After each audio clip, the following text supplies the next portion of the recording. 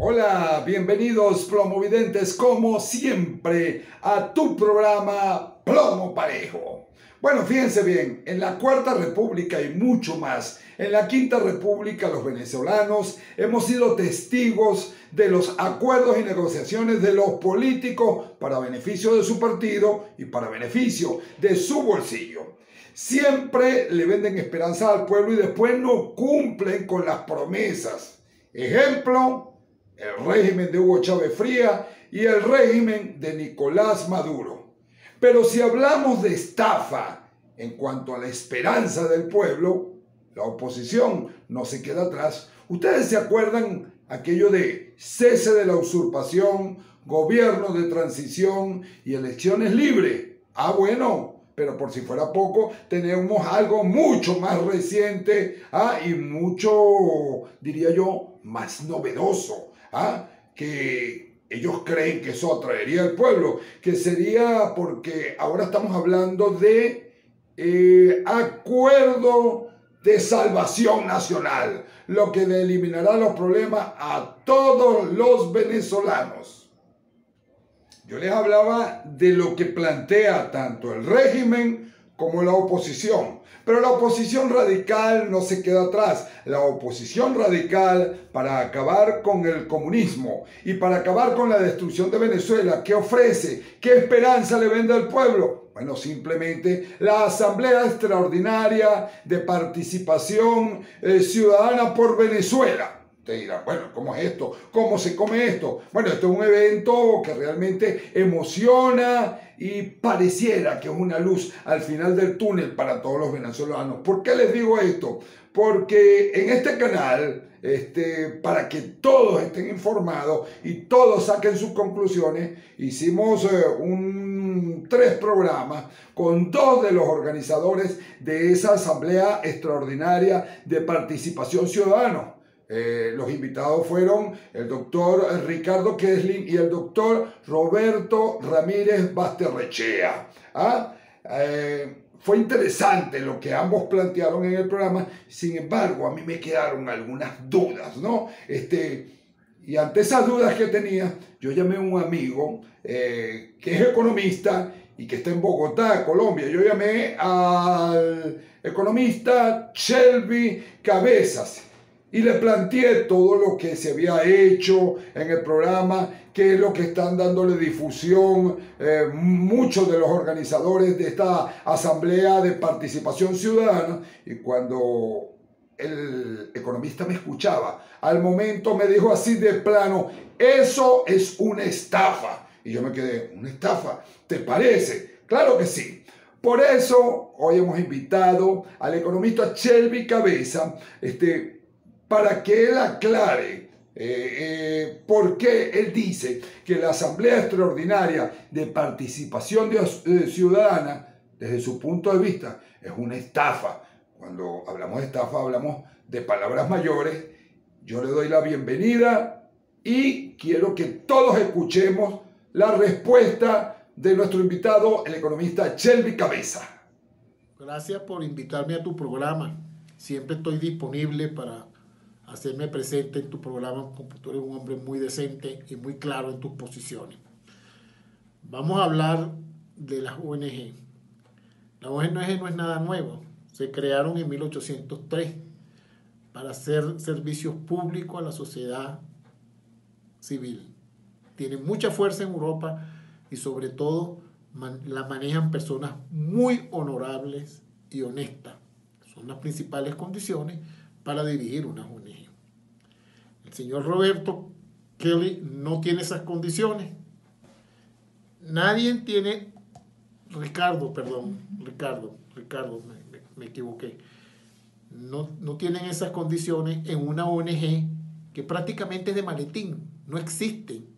Hasta hace poco fue que salió a la arena de las ONG tú ves su, su página principal, aprieta, señala los tres botones principales que salen ahí, su, perdón, casilla, y están en blanco.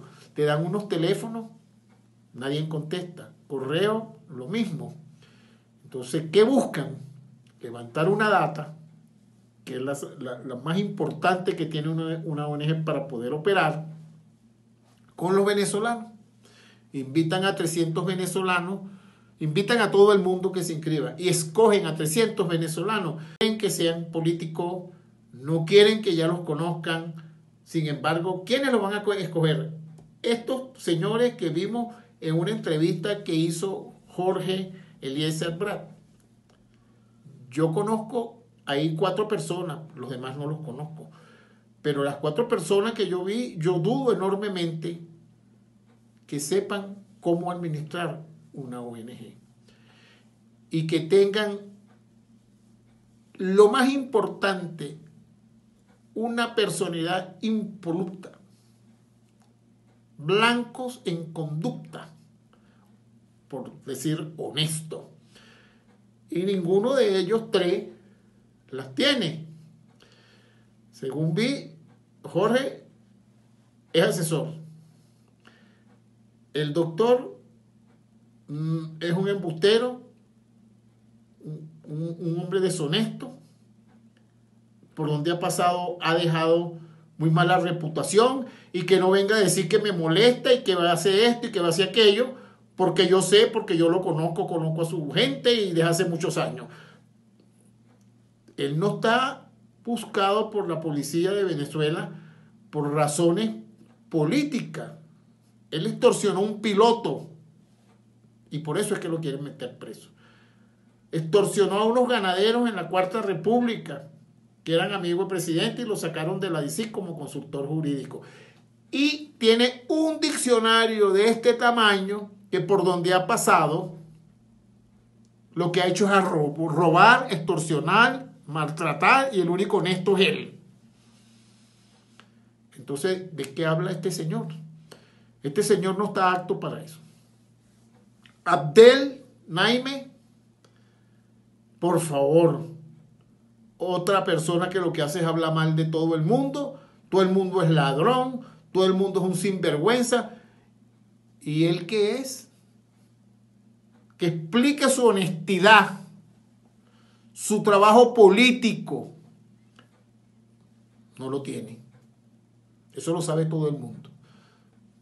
Y Jorge Brad, bueno, ya sabemos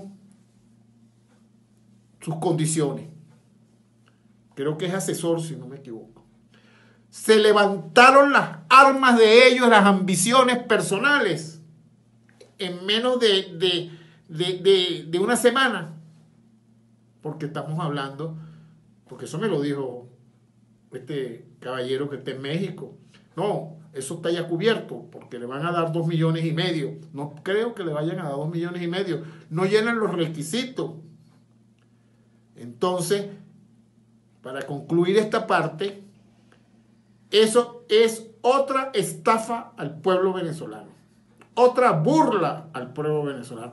Porque ellos, ese grupo, lo que le interesa es la data. La data es la arma más importante que tiene una ONG para poder conseguir financiamiento. Entonces, cuando a ti te ponen las condiciones de que te van a llevar con todos esos gastos pagados de, los que estén en España, los que estén en Venezuela, los que estén donde estén, le van a dar 30 dólares para que se beban su cerveza y se metan su pitico de marihuana. Tan mal, porque eso no es una ONG. Eso lo que va a ser ahí, va a ser un club para resolver la situación de Venezuela, que tampoco es tan apto para resolver la situación de Venezuela. La situación de Venezuela necesita personas con mejores condiciones y relaciones para poder llevar el país a donde lo queremos todo. Y personas como este doctor debiese estar preso, tanto de la época de la cuarta como de la quinta. Entonces es una estafa.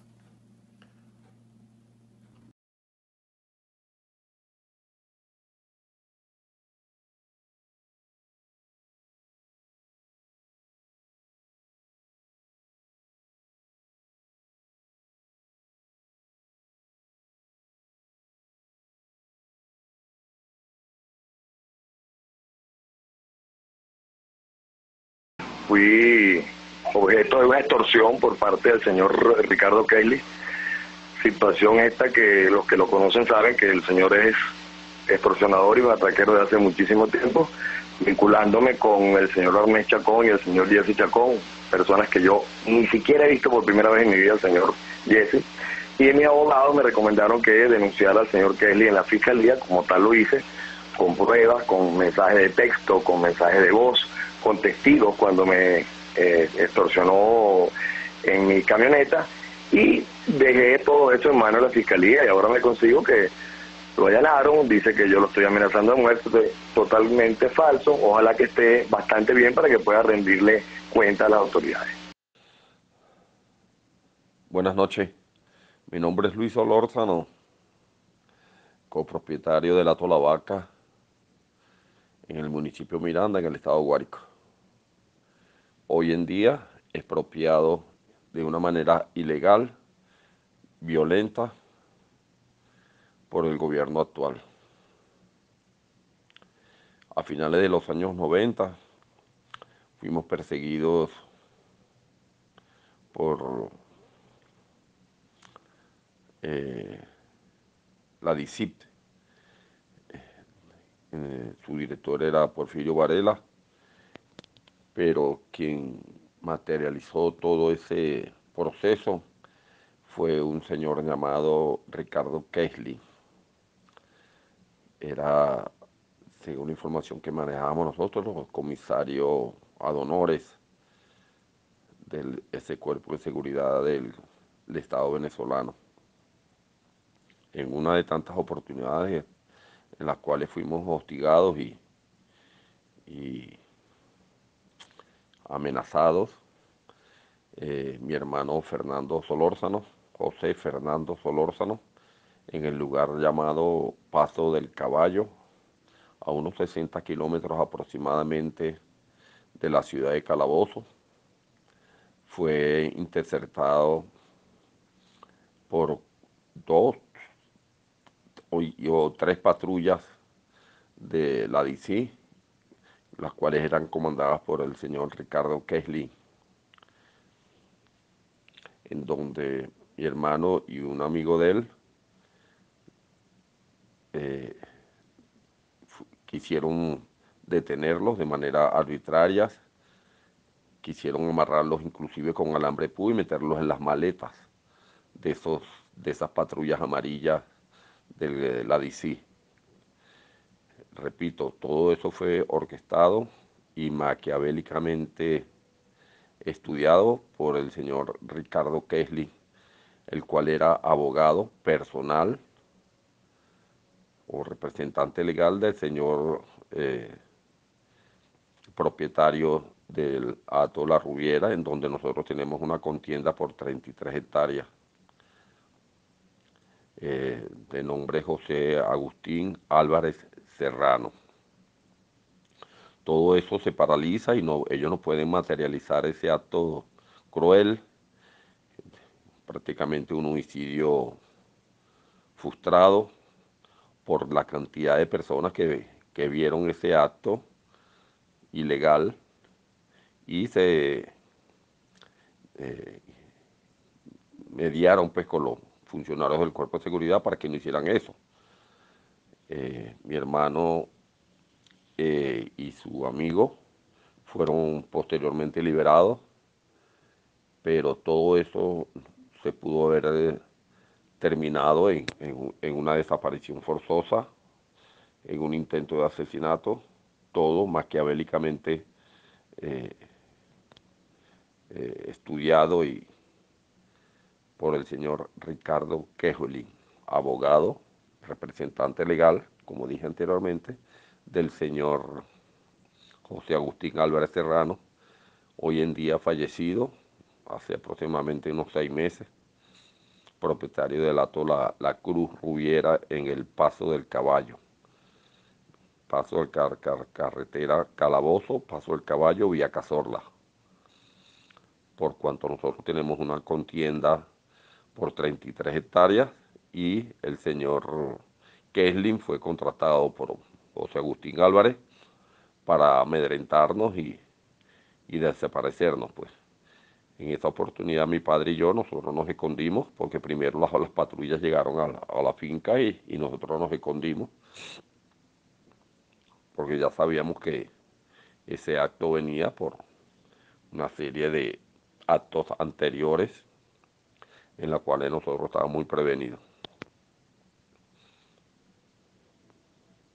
Cualquier información, cualquier pregunta, cualquier entrevista, estoy a su orden. Buenas noches.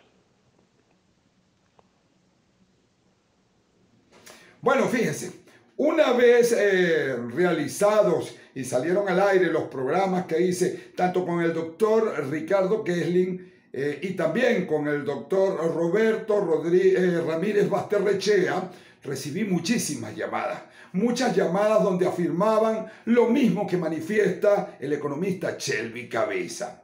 Me acuerdo que un día eh, recibía muchas llamadas y no podía atenderla. Y cuando pude atender la llamada, resulta que eh, me llama una dama y se identifica como la doctora eh, Sarit Zuniaga. La doctora Sarit Zuniaga es abogado y es la representante jurídica de un holding de empresas conformado por empresas petroleras y empresas financieras.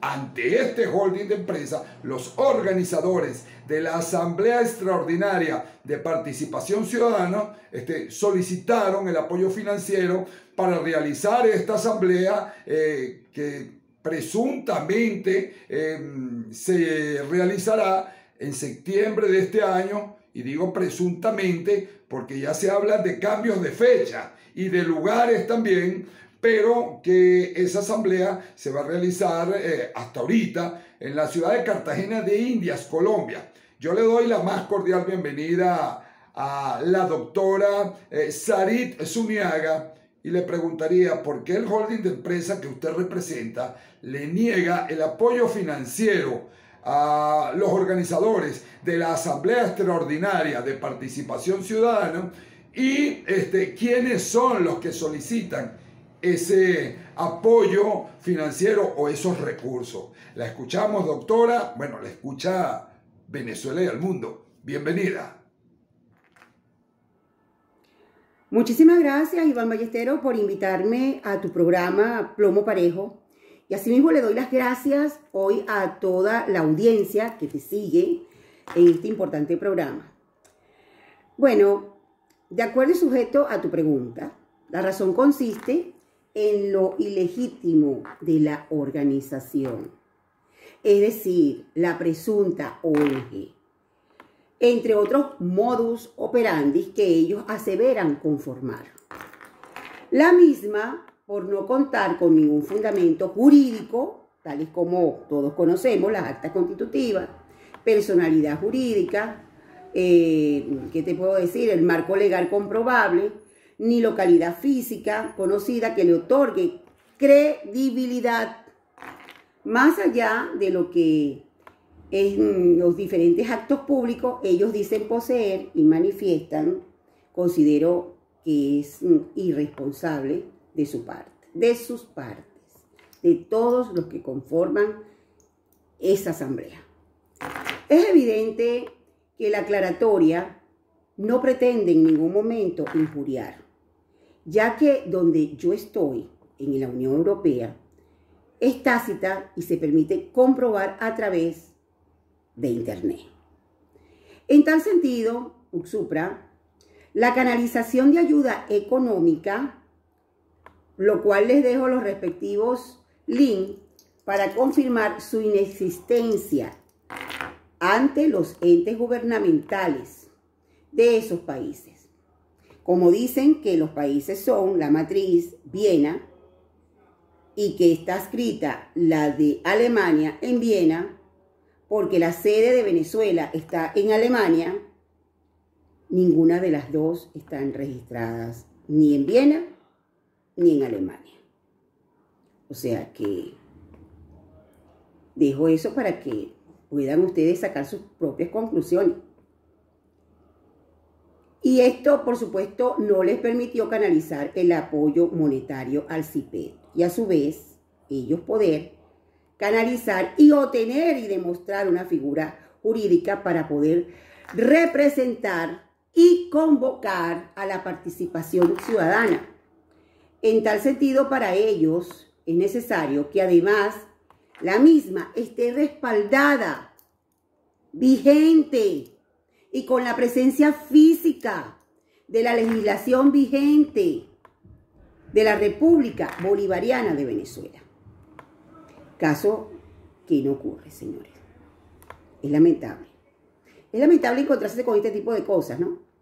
Es oportuno señalar que de acuerdo y sujeto a las investigaciones realizadas, tengo como demostrar con pruebas irrefutables la acción y omisión, como decimos en derecho, del ítem intercrímenes. Y, eso es tácito en tal sentido, y en el ejercicio del cargo que represento, en resguardo de la sociedad civil venezolana organizada, así como también en proteger los altos cargos loables e intereses institucional e intereses colectivos, es importante hacer este tipo de aclaración, porque el holding que represento jurídicamente, en una reunión del directorio y de manera unánime, dicho pronunciamiento en consenso, se llegó a la decisión, escucha bien, de, que no, de no considerar oportuno apoyar esa asamblea. En ninguna forma de dicha acción ni consentir de alguna manera. Sí, así, de simple. Ese planteamiento resultó sin registro legal alguno. Dejo claro que no es una decisión particular ni, ni personal. Por el contrario, es una decisión objetiva del consenso de personalidades y del grupo de empresarios que represento y del cual ítem soy miembro. Por el que deliberamos retirar cualquier vínculo y apoyo y o consentimiento a este, entre comillas, a esta, entre comillas, organización que supuestamente dice llamarse CIPEP Civic Solution, ya que no permite conocer su presencia física jurídica en los países que mencionan. Esa es la razón referido por sus aparentes representantes, siempre refieren de que están en esos países, el representante del CIPEP siempre lo dice, por lo cual reitero, supuestamente tiene objetivos a la realización de una asamblea de ciudadanos en Cartagena de India, Colombia, que pretende asumir la representación de los ciudadanos venezolanos. Cualquier otra información es catalogada como distorsión de estas declaraciones de hoy, 7 de agosto del 2021. Y de antemano le doy las gracias a los medios por permitirme aclarar y esperando aclarar con esto y no causar confusiones dudosas generando en sí en los medios de comunicaciones y redes sociales. Asimismo los invito para presentar pruebas irrefutables en el programa del péndulo de la Venezuela abstracta intrínseca y de, de manera tal de que los ciudadanos hoy despierten. Muchísimas gracias, Iván Ballestero. Gracias, Venezuela.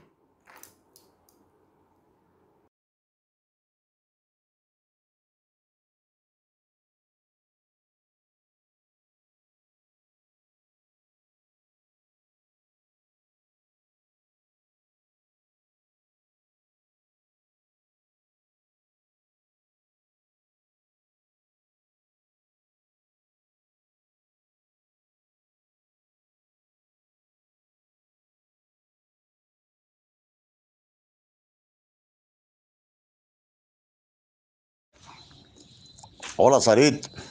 Mira, te voy a enviar eh, dos contactos que te van a llamar, ¿oíste?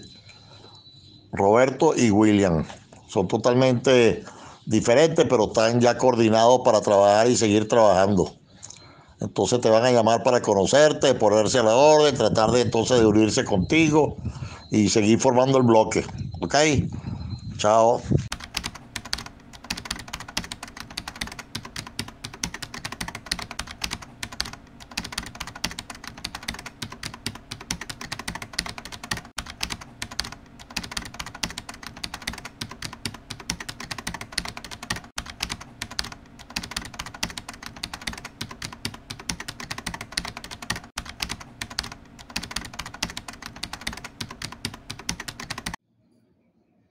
Bueno, aparte de las llamadas eh, a raíz de los tres programas que hice con eh, los organizadores eh, de la Asamblea Extraordinaria de Participación Ciudadana por Venezuela, tanto el que hice con el doctor Kessling como el que hice con el doctor Ramírez, el 31 de julio yo recibo una nota de voz del doctor Ricardo Kessling, donde él hace unos señalamientos contra el economista Shelby Cabeza. Como ya yo había hablado con Shelby Cabeza, le mando la nota de voz y el economista le manda una nota de voz a, Ricardo Kessling.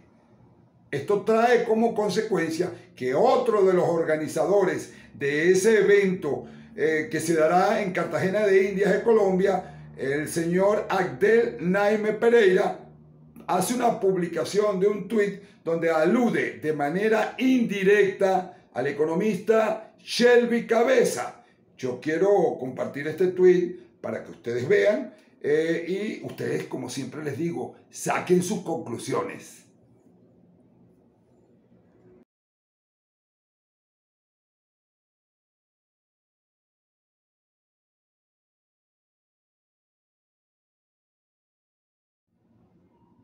Bueno, ya vieron ustedes el tweet que publicó Agdel Naime Pereira, pero ahora yo quiero invitar a todos los promovidentes y por supuesto al economista Shelby Cabeza a que escuchemos la nota de voz eh, que el 31 de julio me mandara el doctor eh, Ricardo Kessling, donde hace unos señalamientos para mí graves eh, contra el economista. Vamos a escuchar y después continuamos. Hoy, 31 de julio del 2021, les habla Ricardo Kessling. Pablo Medina, el terrorista. Señores, mire, a Pablo Medina le voy a echar esta historia porque eh, después le digo la denuncia que estoy haciendo contra él. Pablo Medina lo conocí yo en el Congreso cuando me interpelaron en una oportunidad allí que tuvimos un tremendo lío donde nos íbamos a caer a golpe. Pero ayer me llegó una información donde Pablo Medina con Shelby Cabeza y Luis Ortiz, empezaron a buscar muchachos en Colombia, específicamente en Bogotá, para poner una bomba, oigan esto, en monómero de Colombia, con la única finalidad de causar un escándalo público contra los venezolanos, porque ellos sabían que si estos muchachos ponían esa bomba, pues inmediatamente los iban a capturar, o fabricando la bomba, o haciendo qué cosa, eso lo iban a descubrir, porque a lo mejor ellos mismos lo vendían. Ellos buscaban con esto el rechazo de la población colombiana, más aún contra los venezolanos, buscando entonces anular la Asamblea Extraordinaria de Ciudadanos que estamos organizando para Cartagena. Ese plan lo tiene, eh, bueno, ya, ya fue develado, pues ya se descubrió y yo no sé, eh, a través, oigan, a través de una persona totalmente, pero totalmente con la prueba en la mano. Bueno, todos ustedes escucharon cómo el doctor Ricardo Kessling eh, denuncia a Pablo Medina como terrorista.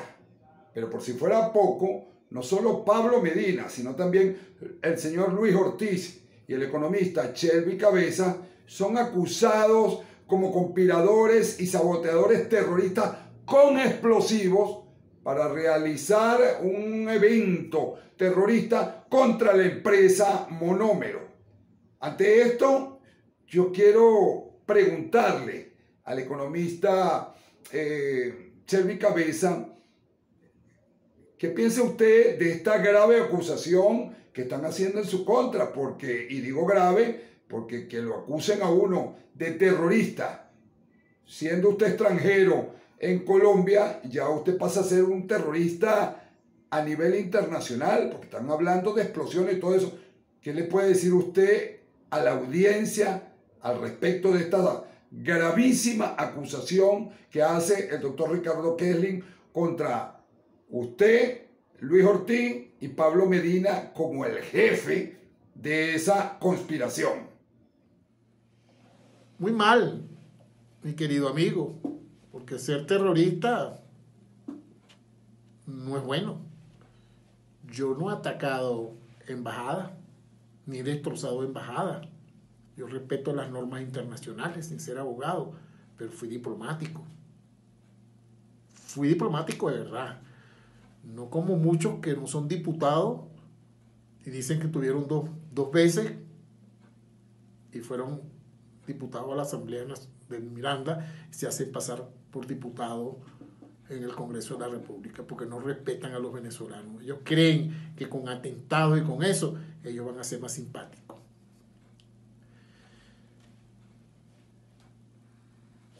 Esto que está aquí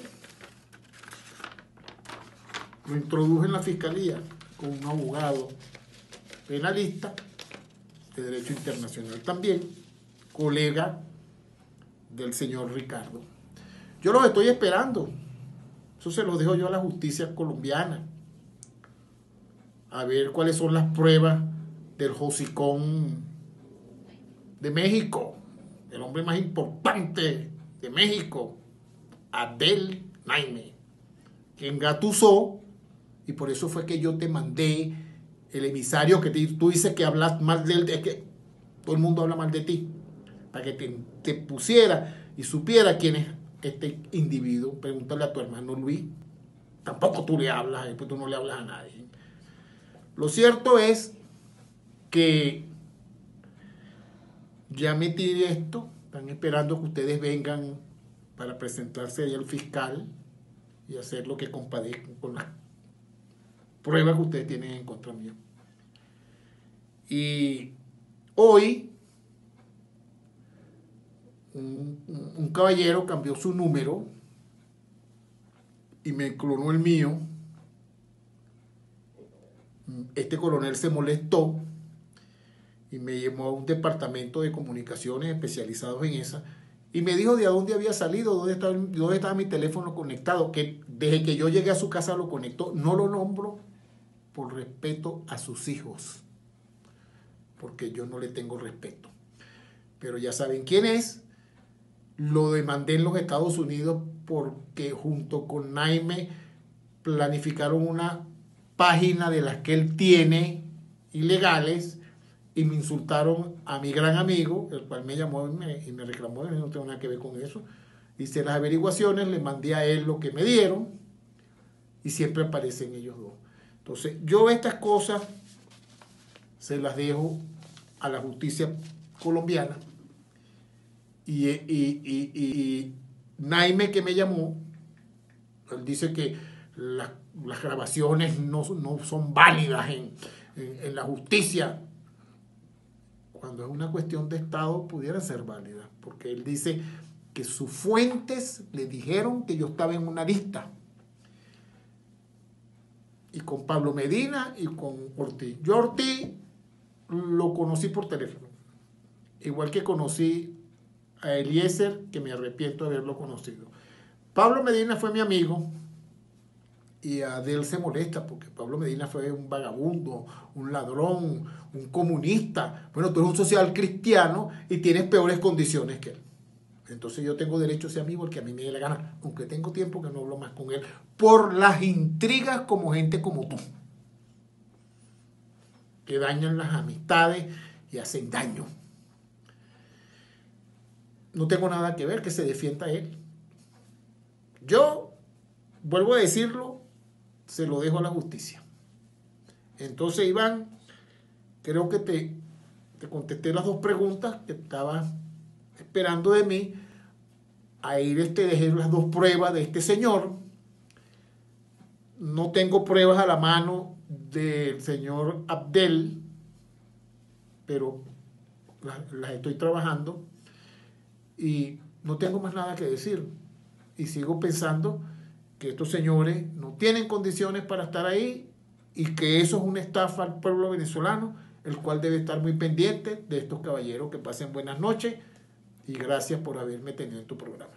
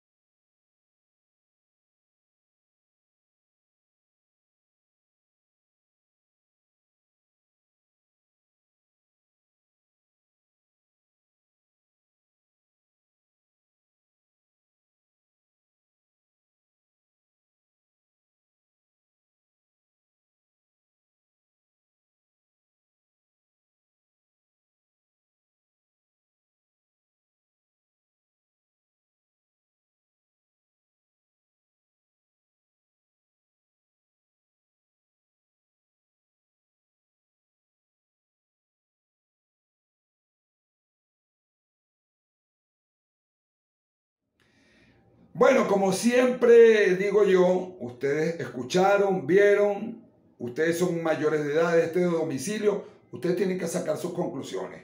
Yo con este programa cierro este caso de eh, los dimes y diretes, por decirlo así, eh, de, la, de los organizadores de la Asamblea Extraordinaria de Participación Ciudadana por Venezuela, porque ya escuchamos a uno y escuchamos a otro o a otros. Entonces no me queda más que despedirme, darle las gracias a todos ustedes. Escuchen, saquen conclusiones. ¿Por qué? Para que nadie los engañe. Ustedes son el pueblo y ustedes tomarán la decisión.